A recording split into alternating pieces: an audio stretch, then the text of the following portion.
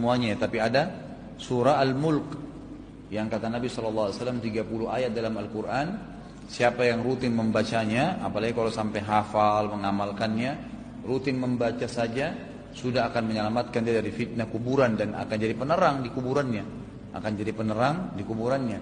Juga dalam riwayatnya dikatakan kalau seseorang meninggal dan rutin membaca Al-Quran apalagi hafal Quran maka Quran itu akan berdiri ya di sekitarnya dan mengatakan kepada para malaikat ini adalah orang yang rutin membacaku maka jangan kalian menjamanya ya seperti itulah kurang lebih gambarannya. Jadi Al-Quran itu memang manfaatnya besar sekali.